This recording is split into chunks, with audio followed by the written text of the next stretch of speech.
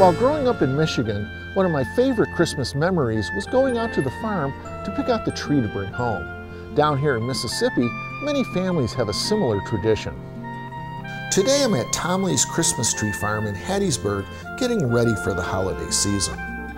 The Tom Lee family has been growing Christmas trees since 1967. There are three varieties of trees being grown here that have adapted to our southern growing conditions. Leyland cypress is one of the most popular Christmas trees grown in the South. The foliage of Leyland cypress varies, but generally is arranged in irregular flat planes with a dark green to gray coloration.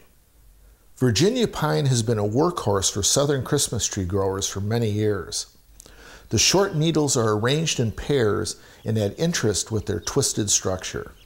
Consistent pruning results in tight branching. Carolina Sapphire is an improved selection of Arizona cypress.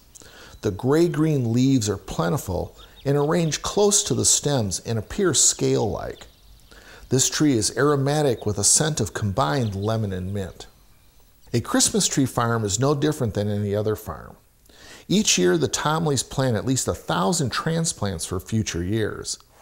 As these trees grow, Careful pruning transforms the trees into the familiar pyramidal Christmas tree shape. It usually takes at least five years of shaping and pruning to turn a scrawny transplant into a glorious family Christmas tree.